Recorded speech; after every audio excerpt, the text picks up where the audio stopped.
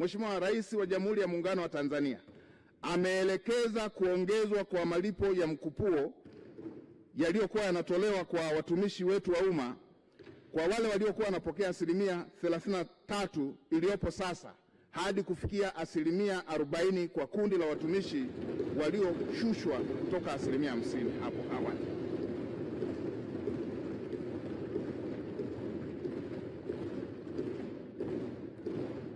Vile vile Mheshimiwa Dr. Samia Suluhu Hassan ameelekeza, Mheshimiwa Spika, naomba kurudia.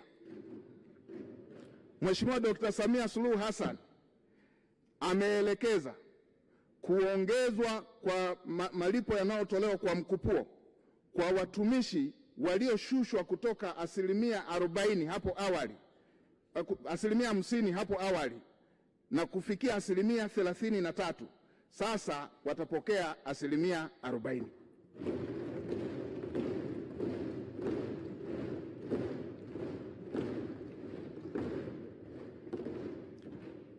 Na wale waliokuwa wakipokea asilimia 25 hapo awali na kuongezewa kufikia asilimia 35, 33 sasa watapandishwa mpaka kufikia asilimia 35 kuanzia mwaka wa fedha huu na wale wote walioathirika na mabadiliko yaliyojitokeza watakuwa sehemu ya mabadiliko haya. Mheshimiwa Spika,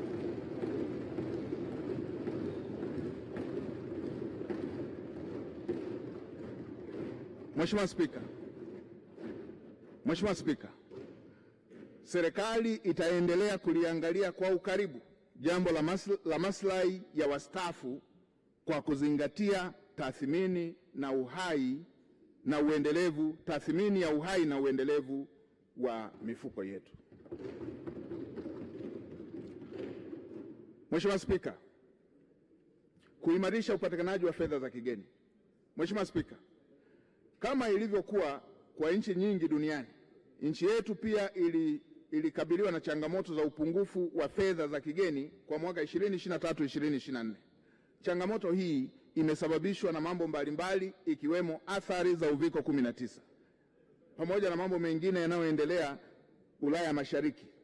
Mheshimiwa Spika, katika kukabiliana na changamoto hizo, changamoto nyingi duniani, changamoto nyingi hapa nchini zikiwemo na nchi kubwa zimepita katika changamoto hii. Serikali imefanikiwa kukabiliana nayo kwa kushirikiana na sekta binafsi pamoja na washirika wa maendeleo ili kuendelea kuwa na akiba ya kutosha ya fedha za kigeni. Hadi Machi 2024 akiba yetu ya fedha ya kigeni ni dola za Kimarekani bilioni 5.3, kiasi ambacho kinakidhi uingizaji wa bidhaa na huduma kutoka nje kwa zaidi ya miezi minne nukta nne. Mheshimiwa Spika, pamoja na sababu nilizozitaja hapo awali, lakini sisi wenyewe wa Tanzania tunalikuza tatizo hili la upungufu wa dola kwa baadhi ya watu kudai malipo au kufanya malipo ya bidhaa na huduma zinazotolewa ndani ya nchi kwa kutumia fedha ya kigeni yaani dola, na hii kwa, kwa, kwa, kwa lugha ya kitaalamu inaitwa dollarization. Taasisi ipo Tanzania na pengine hata taasisi ya serikali inamuuzia huduma Mtanzania na inamwambia alipe kwa dola. Taasisi zingine zinataka Mtanzania alipe ada kwa dola, alipe kodi ya nyumba kwa dola, ama vibali vya kazi ama leseni kwa dola na kadhalika, kila kitu kingine ambacho kinaweza kupatikana kwa shilingi kama leseni kwa dola. Tunawafanya Watanzania wahangaike kuitafuta fedha ya kigeni kununua huduma zinazotolewa ndani ya nchi yao, badala ya kuwafanya wageni wahangaike kuitafuta shilingi ya Kitanzania wanapotaka kupata huduma ndani ya nchi. Jambo hili linasababisha kuongezeka kwa mahitaji yasiyo ya lazima ya fedha za kigeni na kuwanyima fursa wanaohitaji fedha za kigeni kwa ajili ya kulipia bidhaa ama huduma muhimu kutoka nje. Kitendo cha kuuza bidhaa au huduma ndani kwa kutumia fedha za kigeni ni kosa kwa mujibu wa kifungu cha 26 cha sheria ya Benki Kuu ya mwaka 2006 ambacho kinabainisha kwamba shilingi ya Tanzania ndiyo fedha pekee ya malipo ndani ya nchi.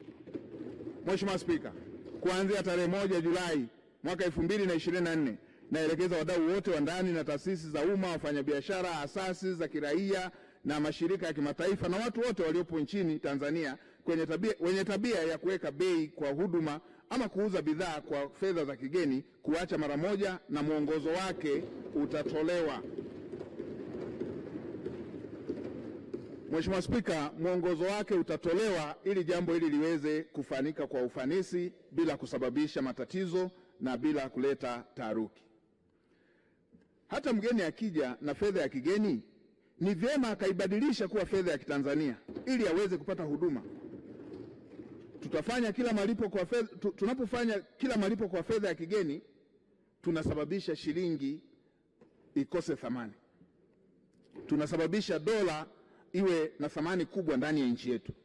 Mheshimiwa Spika, nawahimiza Watanzania wenzangu na wadau wote mliopo nchini kuacha kununua ama kulipa vitu vilivyomo kwenye nchi yetu kwa fedha za kigeni, hususan vifaa vya kielektroniki, ada za, za shule, chuo, kodi za nyumba, viwanja, bidhaa ama huduma mbalimbali, kwa kuwa ni haki yetu kisheria kulipa bidhaa hizo kwa kutumia fedha yetu ya Kitanzania. Endapo una fedha za kigeni unatakiwa uzibadilishe, na hivyo ndivyo mataifa mengine wanavyofanya. Na naendelea kuielekeza Benki Kuu pamoja na vyombo vingine kuliratibu jambo hili ili liweze kufanyika kwa ufanisi. Mheshimiwa Spika, pamoja na hatua ambazo zinachukuliwa, napenda kuwakumbusha wananchi wote kuwa suluhisho la kudumu katika kuimarisha thamani ya sarafu yetu ni kuongeza uzalishaji na ubora wa bidhaa zetu na huduma tunazozitoa nje, nje, nje ya nchi. Ikumbukwe kuwa thamani ya sarafu yetu ni kielelezo cha uwezo wa uchumi wetu wa kukidhi mahitaji yake ya msingi, ikiwemo kulipa mahitaji ambayo hayana budi kuagizwa kutoka nje ya nchi. Mheshimiwa Spika, na tutaendelea eh, kutekeleza programu ambayo imeshapitishwa na serikali ya kuongeza fedha za kigeni. Kwa upande wa maendeleo ya sekta ya fedha, sekta ya fedha imeendelea kukua ambapo utafiti wa Finscope wa mwaka 2023 unaonyesha kuwa asilimia 76 ya Watanzania sasa wanatumia huduma rasmi za kifedha ikilinganishwa na asilimia 65 hapo mwaka 2017. Mheshimiwa Spika, kwa upande wa matumizi ya mifumo ya malipo ya kidigitali, serikali ya awamu ya sita inayoongozwa na Dr. Samia Suluhu Hassan ina lengo mahususi la kupandisha hadhi uchumi wa nchi yetu ili kuwa uchumi wa kidigitali. Mojawapo ya hatua kubwa zinazochukuliwa ni kuhakikisha tunakuwa na mifumo madhubuti ya kidigitali inayotuwezesha wananchi kufanya malipo kwa urahisi popote walipo na kwa gharama nafuu. Katika kutekeleza hiyo, serikali kupitia Benki Kuu ya Tanzania iliunda, ili, iliunda na kuzindua mfumo wa malipo wa papo kwa papo yani TIPS katika mwaka 2023 2024. Lengo lake ilikuwa ni kufanikisha eh, gharama ziwe nafuu za kufanya hatua hizo za kulipa kwa kutumia kidigitali. Watumiaji wa mitandao ya kielektroniki kwa kutu, wa kutuma na kupokea walifika zaidi ya, ya milioni 51.7 kwa mwaka 2023 baada ya mageuzi hayo. Mheshimiwa Spika, kumekuwa pia na ongezeko la mashine za kituo cha mauzo kufikia 8652 ambako kimefanya miamala zaidi ya milioni 9.9 yenye thamani ya trilioni 1.922. Mheshimiwa Spika, kumekuwepo na changamoto ya watu kushindwa kufanya miamala kwa kisingizio cha mitandao kwamba mitandao iko chini. Hata hivyo, matumizi ya mifumo ya kielektroniki katika kufanya miamala yameendelea kuboreshwa, ambapo sasa unaweza kutumia simu yako ya kulipia huduma popote pale ulipo kwa kutumia mfumo wa lipa namba ambao hauhitaji kuwa na mtandao wa intaneti. Hivyo napenda nitoe rai kwa Watanzania wote kujiunga na mfumo huo ili lipa namba walipa namba ili kurahisisha ufanyaji wa miamala kiganjani. Hii itatuwezesha kwenda kwenye uchumi wa kidijitali, kwenda kwenye cashless economy, Mheshimiwa Spika, ambayo bunge lako tukufu limesisitiza sana. Mheshimiwa Spika, kwa upande wa masuala ya muungano, Mheshimiwa Spika, ili kuendeleza ustawi wa Tanzania na kukuza uchumi wa nchi yetu, umoja wa kitaifa, amani, mshikamano na undugu ni jambo muhimu sana. Serikali inatambua kuwa muungano wetu ndio utaifa wetu, na bila Tanzania bara hakuna taifa linaitwa Jamhuri ya Muungano wa Tanzania. Vivyo hivyo, bila Zanzibar hakuna taifa linaitwa Jamhuri ya Muungano wa Tanzania. Jamhuri ya Muungano wa Tanzania ndiyo utambulisho wetu. Mheshimiwa Spika, Zaidi ya hayo yote, sasa muungano umepiga hatua kutoka kwenye karatasi na kwenye mchanga uliofanyika kama kielelezo, kama ishara wakati wa muungano na kwenda kwenye muungano wa damu. Sasa Watanzania wameoleana kabila kwa kabila, na hakuna hata kabila moja ambalo watu wake hawajaoleana na kabila lingine, wala hakuna upande mmoja wa muungano ambao watu wake hawajaoleana na upande mwingine wa muungano. Mheshimiwa Spika, sasa kumezuka baadhi ya wanasiasa kwa sababu za kufilisika tu kisiasa na kutotambua unyeti wa suala hili, wamekuwa wakitoa lugha zinazopandikiza chuki dhidi ya Watanzania wa pande hizi za muungano.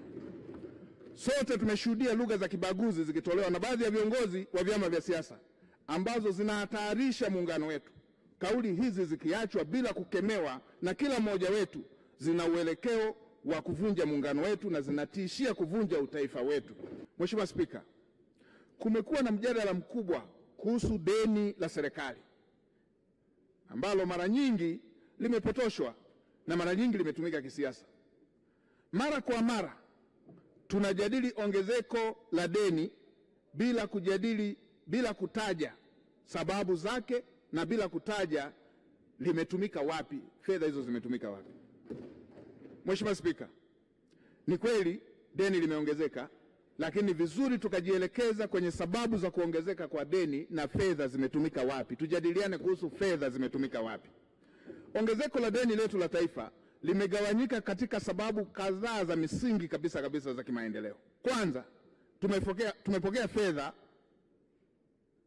za mikopo ya zamani pamoja na mikopo mpya. Fedha hizo zimeelekezwa kwenye miradi ya kimaendeleo yenye manufaa makubwa kwa taifa letu, ikiwa ni pamoja na ujenzi wa miundombinu ya barabara, reli ya kisasa, viwanja vya ndege pamoja na miradi ya umeme. Mheshimiwa Spika, sababu ya pili ambayo imesababisha deni kuongezeka ni kupungua kwa thamani ya shilingi dhidi ya dola ya Kimarekani ambayo imechangiwa ime, ime, ime, imechangiwa na sababu za kuyumba kwa uchumi wa dunia. Kuanzia tarehe 31 Machi 2021 hadi Machi 2024 thamani ya shilingi dhidi ya dola imeshuka kutoka elfu mbili na mia tatu hadi elfu mbili na mia tano ambayo ni sawa na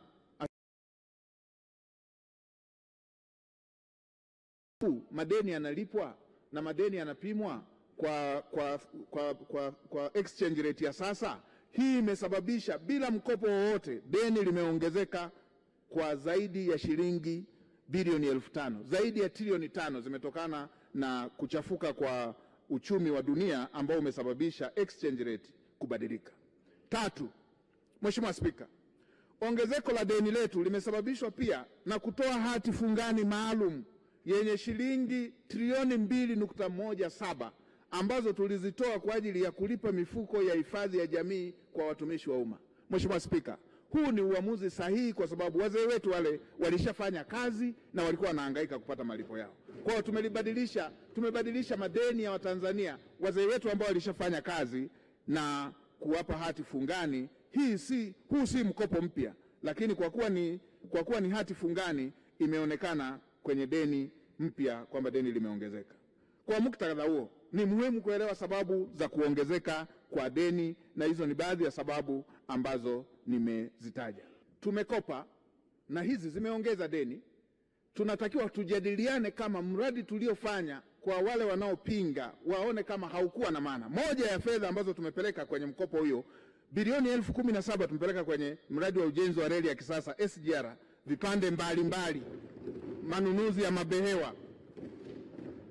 Mikoa itakayonufaika na miradi hii ni kama ambavyo mmeona, hii ni reli ambayo ni uti wa mgongo kwa taifa letu, kuanzia Dar es Salaam mpaka Kigoma na Mwanza na nchi za jirani. Mheshimiwa Spika, kwa upande wa sekta ya ujenzi tumetumia bilioni elfu nne mia moja sitini na nne. Fedha hizo zimeelekezwa tulizozikopa zimeelekezwa kwenye miundombinu bilioni elfu nne. Hizi ni trilioni nne nukta moja sita nne. Fedha hizo zimepelekwa kwenye ujenzi wa miundombinu ya barabara.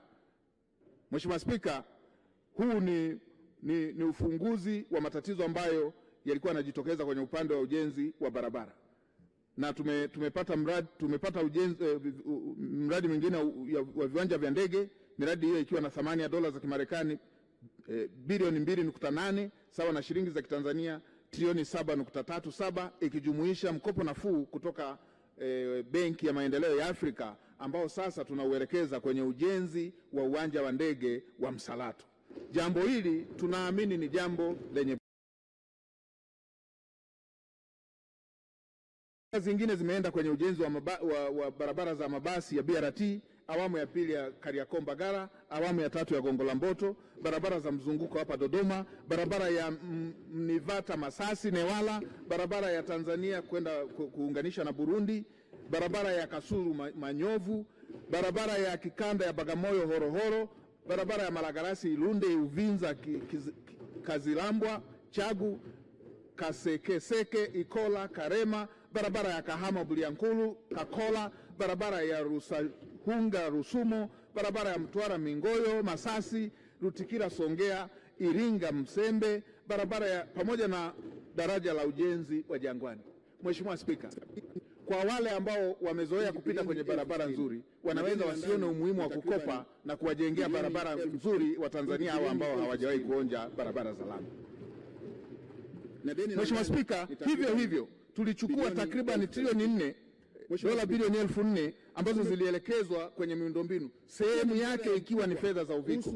Sehemu hizo fedha hizo zimejenga madarasa nchi nzima, hakuna wilaya ambayo haikuguswa, na hii imetoa watoto waliokuwa wanasomea chini ya miti.